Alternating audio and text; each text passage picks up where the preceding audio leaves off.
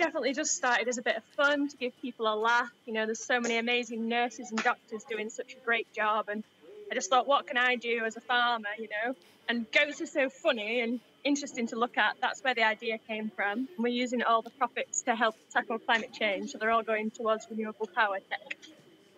That's absolutely brilliant. Your goats are just absolutely fantastic. But um, uh, have you had any kind of unusual goat requests when they make their cameos? yes, plenty. Um, lots of families who are, have been stuck at home for ages with sort of elderly relatives. We've got one family who books the same goat every week. Uh, Marge, I don't know where she is. She's been shy. She's over there at the moment.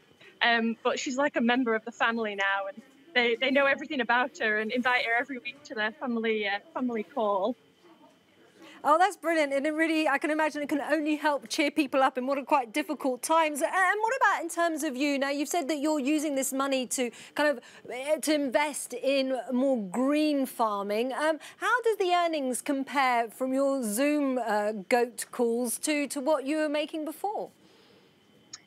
Well, we're um, we farm goats and sheep and poultry here, so that's stayed the same. The farming side hasn't really changed um, during lockdown, but we also do educational visits for schools, teaching about food and farming, and also host weddings and, and holiday guests as well. We've got like cool tree houses and yurts and stuff people can stay in.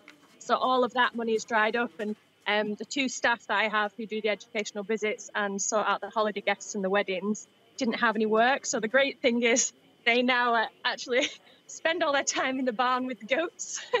um, one of them's actually just just on the other side of the camera giggling because she's on a on a goat pole right now. Um, so yeah, it's been really great because we've been able to keep them in work and keep their wages paid, and all the um, money on top of that is all going towards uh, solar panels and, and things like that, heat pumps, and swapping all the farm machinery to and um, vehicles to electric and stuff.